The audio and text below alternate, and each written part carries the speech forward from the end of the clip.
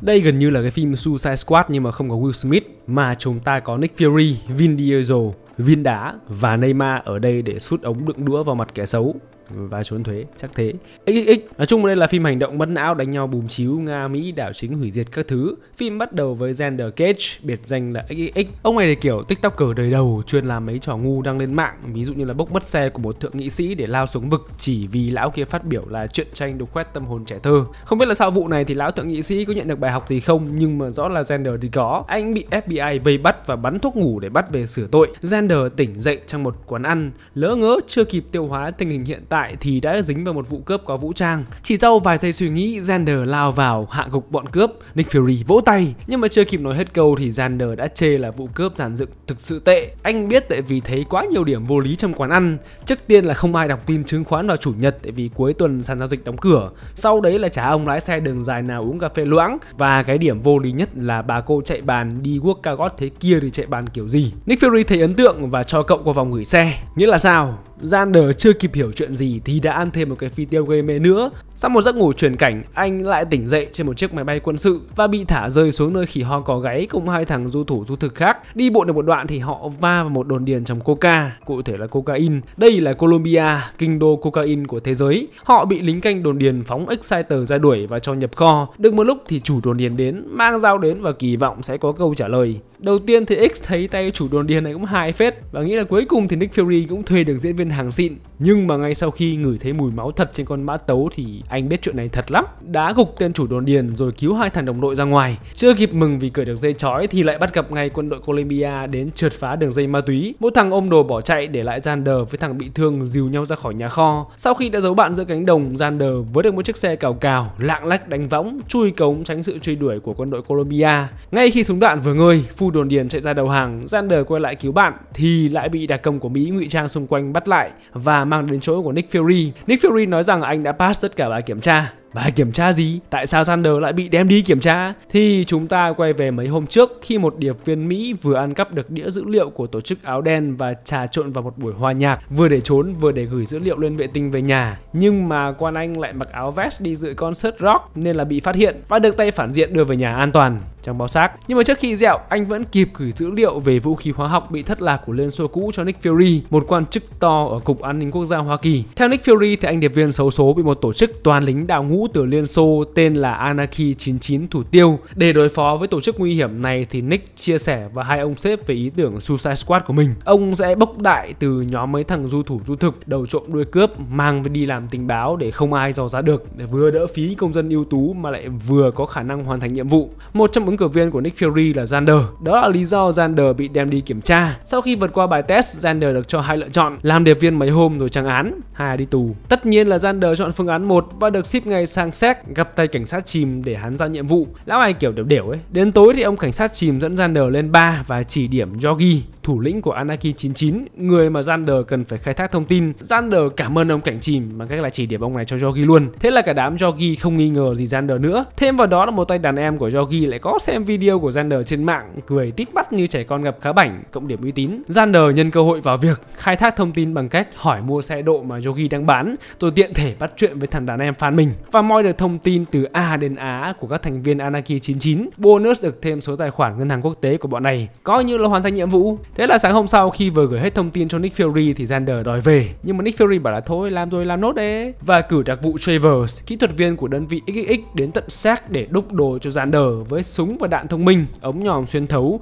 băng gạc kèm thuốc nổ. Cường hóa xong thì Xander quay lại chỗ Yogi chuyển tiền nhận xe và dình để đào sâu hơn được về tổ chức của bọn này. Đang giữa chừng thì ông cảnh chìm không biết từ chỗ nào chui ra phá, buộc Xander phải dùng đạn thông minh giả vờ bắn chết. Nhờ cái màn tiểu xảo này, Xander được kết nạp vào Anarchy 99. Ở đây anh cũng gặp Jelena, cánh tay phải của Yogi. Hai người khá là khóa nhau. Xander sau đó được dẫn về xào huyệt là một lâu đài cổ bị bọn này chiếm được. Sáng sớm hôm sau lúc Xander đang giả vờ đi dạo để thám thính thì phát hiện ra Jelena cũng đang chụp chụp quay quay. Có vẻ Jelena cũng đang thực hiện nhiệm vụ cho một bên thứ ba. Hai người đến nhà hàng để nói chuyện riêng tư và với sức mạnh của thồn lần thì Zelena làm IQ của Xander tụt xuống dưới 50 Khải tuôn tuột từ A đến Z về thân phận đặc vụ của mình. Đang cười nói vui vẻ thì Zelena nhận được điện thoại nói rằng Yogi đã biết Xander là điệp viên sắp khử anh ngay và luôn. Jelena giúp Xander thoát chết vì cũng cũng thích nhau, diễn kịch để anh chạy thoát khỏi tầm bắn của thằng bắn tỉa. Sau đó Xander bị Nick Fury bắt về vì đã lộ thân phận. Chưa kể là cục an ninh Hoa Kỳ đã có đủ thông tin để gửi người đến xử cả lâu đài, bao gồm cả Jelena.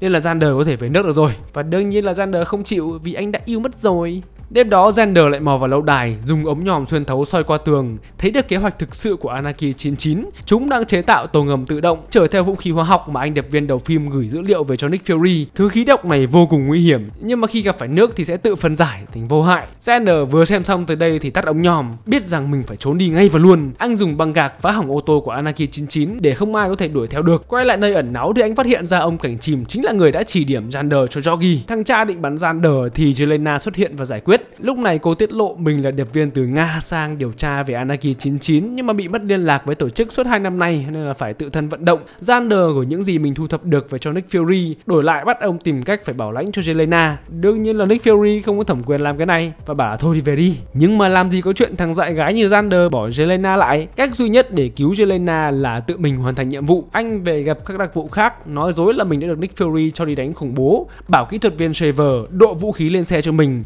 rồi bàn kế hoạch hiệp đồng tác chiến với anh em. Xander nhờ người lái máy bay ship mình lên núi, dùng lựu đạn gây ra một vụ lở tuyết, phá hỏng anten liên lạc và hệ thống camera. Nhưng mà trước khi đánh nhau thì lý phim cứ phải cho nhân vật chính bị bắt lại đã. Lúc này thì Yogi bảo là mình đã biết được danh tính của Jelena từ lâu rồi, giữ lại cho vui thôi, gì căng. Kế hoạch của tay này là dùng vũ khí hóa học để gây chiến, làm các nước nghi ngờ nhau rồi tấn công lẫn nhau và sau khi thế giới lụi tàn thì tất cả sẽ trở về trạng thái anarchy, vô chính phủ ủ ủ ủ. Thanh niên này nói nhiều thế, kể hết kế hoạch ra là vì để đợi cho quân tiếp viện của Xander đến ứng cứu cho đúng kịch bản. Do khi bỏ chạy, khởi động được con tàu chở vũ khí hóa học, nhưng mà bị Xander bắn chết. Xander leo lên con xe độ, nhưng mà anh không thể bắn hạ nó, tại vì chỉ cần một kích thích nhẹ cũng sẽ làm khí độc khuếch tán cho cả thành phố đi tong. Xander đành phải dùng súng bắn móc, nhảy lên con tàu. Sau một hồi mầy mò thì con tàu bị chìm xuống sông, vẫn nổ tung, nhưng mà chất độc bị nước trung hòa. Xander nổi lênh bênh trên mặt nước, nhiệm vụ hoàn thành. Xander cùng Jelena trốn lên một quần đảo tuyệt đối sống đời tự do.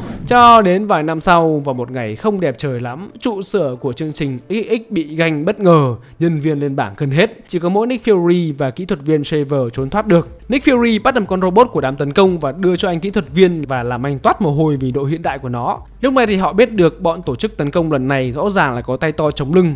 Chính vì thế Nick Fury nói rằng đặc vụ XX mà họ sắp tuyển cần phải xanh chín hơn. Thế là ông không chọn bọn sắp vào tù như lần trước mà tuyển luôn một ông đang bóc địch cho nó vâm. Và chúng ta được gặp Darius Stone, thôi tôi gọi là anh Thạch nhé cho tiện nhé. Anh Thạch là đồng đội của Nick ngày xưa, vào tù vì đã kháng lệnh lại còn đấm chỉ huy vỡ hàm vì ông chỉ huy muốn tàn sát người vô tội. Nick Fury trước tiên đến để cảnh báo anh Thạch là có một thế lực bí ẩn đang truy lùng các thành viên cũ trong đội của hai người. Giờ có hai lựa chọn là ngồi yên chờ chúng nó đến giết mình, hai là ra nhảy tango với chúng nó và khi tôi nói nhảy tango ý tôi là hành động trước cùng lúc đó nhân viên tình báo đến dọn xác tại trụ sở XX nhận được thông báo Xander cũng đã bị giết ở quần đảo nhiệt đới giờ thì họ cần phải tìm Nick Fury mới biết được chuyện gì đã xảy ra. Ngày hôm sau, trong lúc được dẫn ra sân giãn gần giãn cốt thì anh Thạch đánh gục hai lính canh áp giải, treo lên mái nhà bỏ trốn, nơi mà Nick Fury không biết là mượn tạo được một chiếc trực thăng ở đâu bay xuống cứu bạn. Anh Thạch đu càng thoát khỏi nhà tù và chính thức tham gia vào kế hoạch lật mặt của Lý Hải Da Đen aka Nick Fury. Họ tìm đến một tiệm lái xe gặp anh em xương máu ngày trẻ của anh Thạch, Zick. Zick dẫn ba người đến chỗ Lu, bạn gái cũ của anh Thạch trước khi anh vào tù, đổi con xe của Shaver cho Lu lấy một chỗ trú chân, tránh sự truy lùng của lực lượng chức năng. Nể tình xưa nghĩa cũ, Lô tặng cho anh một chiếc xe gầm cao máy thoáng, phù hợp hơn với các nhiệm vụ cứng cựa. Sau khi đã ổn định chỗ ở, Nick Fury bắt đầu phổ biến phần tiếp theo của kế hoạch lật kèo. Anh Thạch sẽ phải đột nhập vào trụ sở của XXX lấy ổ cứng dữ liệu từ trong máy chủ về đốt hay là thu lại được thông tin gì thì thu. Sau một cuộc giật đuổi cháy nổ đùng đoàng, anh Thạch lấy được ổ cứng. Cùng lúc đó Nick Fury về nhà lấy đồ thì rơi vào bẫy của lão chỉ huy ngày xưa, chính là bộ trưởng quốc phòng hiện tại. Tay này cho đánh gất Nick rồi cho nổ tung nhà của ông để tạo hiện trường giả. Hôm sau tin tức về cái chết của ông làm cả Thạch lẫn kỹ thuật viên tâm trạng hơi than chậm một chút, nhưng mà kế hoạch của Nick Fury vẫn còn đó, nên là cả hai gạt nước mắt trong lòng mà tiếp tục nhiệm vụ. Hai người không tìm được cái gì trong cái ổ cứng mà anh Thạch mang về, nhưng mà phía trên ổ cứng thì có dán một giải phim đặc biệt chỉ cho Thạch những người quen của Nick mà anh có thể nhớ nhớ vả. Họ đến đám tang của Nick Fury và nhận ra người họ cần tìm là một cô gái làm bên văn phòng chính phủ tên là Charlie. Cô gái chỉ anh đến một bữa tiệc họp mặt lực lượng quân đội do bộ trưởng tổ chức. Anh Thạch phát hiện đội cận vệ của lão bộ trưởng là các thành viên đứng về phía lão trong đội đặc nhiệm của anh và Nick Fury ngày xưa. Thạch đến gần để nghe ngóng nhưng mà chưa kịp tiêu hóa thông tin thì đã bị đám cận vệ nhận ra và phải trốn vào bếp mới thoát được. Charlie đến ứng cứu và đưa anh về nhà cô trú ẩn. Anh Thạch đi lên phòng định nghỉ thì ôi không, ông tướng vừa nói chuyện với bộ trưởng đang nằm trong vũng máu. Ta-da! Tất cả là một vụ ngậm máu phun người đổ tội cho anh Thạch. Cảnh sát ập đến bao vây căn nhà. Hóa ra chính Charlie đã gài bẫy. Trong đám người bảo vệ căn nhà có một ông đặc vụ tóc tai vuốt vuốt các thứ vào bên trong để gặp anh Thạch thương lượng thì phát hiện ra anh đang hâm đồ ăn bằng lò vi sóng. Anh Thạch giải thích tình hình cho đặc vụ kia nghe, thế đếch nào lại thuyết phục được. Ngay khi anh đặc vụ ra khỏi nhà thì một đội đặc nhiệm lần theo vị trí camera tầm nhiệt vào quê anh Thạch. Họ chạy vào nhà tắm nhưng mà chỉ nhìn thấy đống đồ ăn anh Thạch quay lúc nãy. Anh Thạch chui từ tủ lạnh ra, đánh ngất một anh lính, lột đồ để cải trang rồi trốn mất. Sau đó anh tìm đến Lu và Shaver để tiếp tục kế hoạch. Shaver được giao việc đi hack vào máy chủ bộ quốc phòng để xem xem âm mưu của bộ trưởng là gì. Và thông tin họ tìm được là vui vẻ sẽ hợp tác với cái chị đẹp này. Nếu mà các bạn thấy quen thì chị này là biên tập viên Quỳnh Nga của chuyển động 24 giờ, hoa khôi đại học ngoại thương 7.5 IELTS. Nói chung là chị này cực kỳ xinh và giỏi. Vậy thì một người như vậy làm gì bên cạnh một thằng như tôi? Đúng vậy, chúng tôi sẽ mở một kênh tên là Mất Gốc với mục đích giúp những người mất gốc hoặc là đang chật vật học tiếng Anh, học tiếng Anh tốt hơn. Các bạn có thể vào đăng ký kênh xem video nơi tôi mà chị Quỳnh Nga làm cái việc như vậy. Quay trở lại câu chuyện thì lão bộ trưởng đã dồn hết quân của mình lên một tàu sân bay đỗ ngoài bờ sông để chuẩn bị làm cái gì đấy. Anh Thạch muốn biết nên là đột nhập vào xem. Anh thấy cả xe tăng rồi trực thăng và cả Charlie luôn. Đang đứng bàn luận về cánh tay phải của lão bộ trưởng. Anh theo sau cô ta để tìm thêm manh mối thì phát hiện ra Nick Fury vẫn còn sống và đang bị giữ trong phòng của một nửa đội đặc nhiệm ngày xưa từng cùng anh kháng lệnh lão bộ trưởng. Trong lúc anh Thạch đang chần chừ thì Charlie phát hiện và bật còi báo động, làm anh phải bốc tạm một chiếc xe tăng để trốn đi, phá thêm một lô khí tài quân sự trên đường đi và tẩu thoát qua đường sông. Sau đó anh đến gặp đặc vụ hôm trước, chia sẻ thông tin tấm bản đồ quân sự mà anh cướp được của Charlie và kể cho anh đặc vụ nghe về những gì thấy trên tàu, nói rằng rất có thể lão bộ trưởng đang định đảo chính. Anh đặc vụ không tin, nói rằng lão bộ trưởng huy động quân đến Washington vì lão là người chỉ huy bảo vệ cho cuộc họp liên bang tối nay, giả thuyết của anh Thạch chưa đủ vững chắc. Nhưng mà sau khi check thì lại đúng thế thật. Lão bộ trưởng đang có âm mưu đảo chính, giết hết các thành phần quan trọng của chính phủ để lão có thể ngăn chặn tổng thống đương nhiệm cắt giảm chi tiêu quốc phòng. Tại vì bộ trưởng quốc phòng mà bị cắt giảm chi tiêu thì làm sao mà rút ruột xe tăng được? Anh Thạch muốn ngăn chặn vụ này nên là tìm đến những người anh em xương máu, cùng nhau đi cướp một chiếc xe tải chở vũ khí theo lời chỉ dẫn của kỹ thuật viên Shaver để nâng cấp hỏa lực. Đến tối, bộ trưởng dàn quân xung quanh quốc hội đón lãnh đạo các bang đến họp. Để đột nhập qua cái vòng kiểm soát này thì đội của anh em anh Thạch phải lạng lách đánh võng đi xuyên qua hang cùng ngõ hẻm. Đang lái xe bằng băng thì họ bị một chiếc xe tăng chặn đầu. Cơ mà ở đời thì cứ có cái gì có bánh thì anh em anh thạch đều xin đều được. Thế họ cướp luôn cái xe tăng. Ung dung lái về phía tòa nhà quốc hội. Đúng lúc đó thì lão bộ trưởng thực hiện kế hoạch của mình, thủ tiêu tổng thống và đổ tội cho nick fury. Em anh thạch dùng xe tăng bắn thủng một lỗ trên tường để anh thạch và anh đặc vụ có thể lao vào cứu người. Họ tiêu diệt được lính của lão bộ trưởng, cứu nick fury. Nick fury bắn chết charlie, cùng anh đặc vụ ở lại chiến đấu để anh thạch có thể đuổi theo bộ trưởng và tổng thống. Lão bộ trưởng cùng đàn em thân tín đẩy tổng thống ra tàu điện siêu tốc để bỏ trốn. Anh thạch lên con xe độ đuổi theo, hy sinh nó để nhảy lên tàu. Anh thạch bị thằng tay sai của bộ trưởng đấm cho thành thạch giao cầu long hải, nhưng mà anh thạch cũng đấm lại. Rồi tiếp cận được lão bộ trưởng và tổng thống, anh dùng biện pháp ngô tất tố để tăng hình, rồi la vào lão, tạo cơ hội để anh đặc vụ và nick fury dùng trực thăng cứu tổng thống đi. Đấm nhau chán chê thì anh thạch nhảy ra khỏi tàu trước khi nick fury bắn tên lửa tiêu diệt lão già. Anh thạch lao từ trên tàu xuống sông, thoát chết trong gang tấc. Mọi chuyện qua đi, tổng thống tặng huân chương cho anh đặc vụ, ghi công anh thạch như một anh hùng vô danh. Anh thạch chia tay lu nói rằng nhiệm vụ của anh còn dài anh cần phải đi để không ảnh hưởng đến cuộc sống của những người mà anh yêu quý. Cùng lúc đó tại trụ sở mới của chương trình XX, anh đặc vụ giúp anh Thạch bây giờ cũng là thành viên của tổ chức, đi cùng Nick Fury và kỹ thuật viên. Bạn xem đặc vụ XX tiếp theo là ai. Một thời gian sau sự kiện của phần 2 thì Nick Fury lại đích thân đi làm tuyển trạch viên, đi tìm XX mới và đó là Neymar trong một quán ăn Trung Quốc. Ông cố thuyết phục anh cầu thủ nhập bọn nhưng mà Neymar từ chối tại vì làm điệp viên thì khó ăn vạ lắm. Nhưng mà ngay khi Nick Fury vừa đi ra ngoài cửa thì một tên lạ mặt vác súng vào đòi cướp cửa hàng. Neymar chặn lại bằng cách đá lọ tăm vào đầu hắn và tất nhiên thì đây cũng chỉ là một phần trong bài kiểm tra của Nick. Khi ông quay đầu lại để thuyết phục Neymar lần nữa thì một vệ tinh rơi từ bầu khí quyển xuống trúng ngay nhà hàng, làm Nick Fury và Neymar bay mất xác. Không lâu sau đó tại trụ sở của CIA, một cuộc họp đột xuất được tổ chức. Đây là bậc vụ Mark Marker hay Marco thì Marker. Ba cầm trên tay một thiết bị lạ vừa mới tịch thu của Vodger, gọi nó là hộp Pandora. Chính nó đã gây ra sự cố vệ tinh giết chết Nick Fury ban trưa. Thiết bị này có khả năng hack bất kỳ vệ tinh nào nào. Đặc vụ Mark đang thao thao bất tuyệt về thiết bị này thì Diệp Vấn xuất hiện, báo hiệu là phim này mà ra sau 2019 thì sẽ bị cấm chiếu ở Việt Nam. Hạ gần hết các nhân viên cao cấp của CIA trong phòng họp rồi cướp lấy thiết bị chạy mất. Đường tẩu thoát khỏi trụ sở CIA không hề dễ dàng nhưng mà Diệp Vấn không hành động một mình. Hắn có thêm ba người đồng đội hỗ trợ là Anandi, Ivan và một Pinoy. Để xử lý được cái biệt đội da vàng này thì tất nhiên là cần một ông da trắng. Chuyển cảnh đến Cộng hòa Dominica, chúng ta có Xander, người mà ai cũng tưởng đã chết từ phần 2. Anh cướp bộ thu phát sóng vệ tinh từ anten mang xuống để người dân xung quanh xóm nhà lá có cơ hội được xem bóng đá. Hôm sau Xander vào thành phố, vừa với ngồi xuống băng ghế dài đã rơi vào một vụ khủng bố được dạng dựng để tìm ra Xander.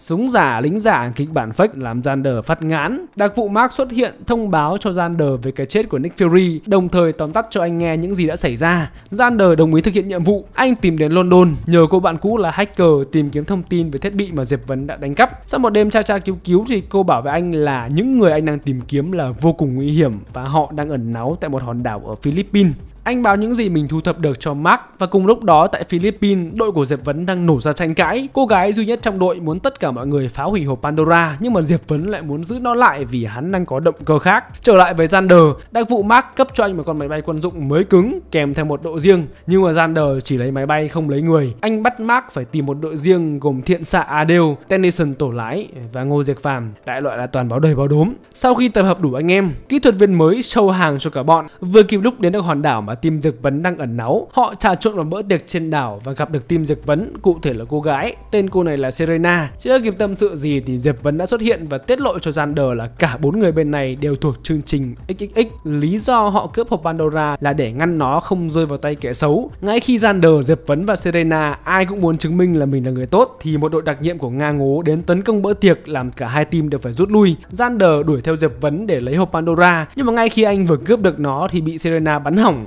Thế xong đúng không? Chuyện hết đúng không? Không. Adele báo cho Xander là vừa có một vệ tinh lại rơi xuống đất trúng một sân vận động tại Nga. Hóa ra cái món đồ cả lũ tranh nhau đó giờ chỉ là hàng dùng thử một lần. Hàng thật đã bị một nhân vật bí ẩn giữ ở chỗ khác. Để tìm manh mối của nó, Xander bắt mọi người bật lại video ghi cảnh Diệp Vấn tấn công phòng họp và họ phát hiện ra một người đàn ông không hề bất ngờ khi bị Diệp Vấn tấn công. Người đàn ông này chính là giám đốc CIA đã bỏ trốn trong khi cả lũ đuổi theo Diệp Vấn. Ông này giờ đang trốn tại Detroit. Team Xander giờ có thêm sự góp mặt của Serena lái xe đến chỗ giám đốc thì gặp tắc đường, đành phải xuống đi bộ. Đang đi thì họ bắt gặp diệp vấn cũng đang tắc đường. Thế là cả hai đi bộ, Xander cùng Diệp Vấn buộc phải tạm thời cộng tác với nhau, hạ gục đám đàn em của lão giám đốc. Ngay khi vào được phòng, Diệp Vấn cố thuyết phục Xander không mang thiết bị về cho chính phủ Mỹ làm Xander lưỡng lự. Rồi lão giám đốc từ đầu thò mặt ra chĩa súng vào đầu anh. Lão phát điên nói rằng mình sẽ dùng cái hộp này để làm thế giới hỗn loạn. Ở tòa nhà đối diện, Xander cố ngâm bắn lão già bằng ống kính tầm nhiệt nhưng mà vướng phải dàn máy sưởi chạy hết công suất trong phòng, không nhìn thấy gì cả. Xander đi về phía cửa, ra hiệu để cô xạ thủ bắn xuyên qua kẽ tay, giết chết lão giám đốc. Ngay khi Diệp Vấn và Xander lấy được hộp Pandora, Mark xuất hiện, thu hồi thiết bị, bắt Diệp Vấn về để đổ tội, giữ thể diện cho CIA.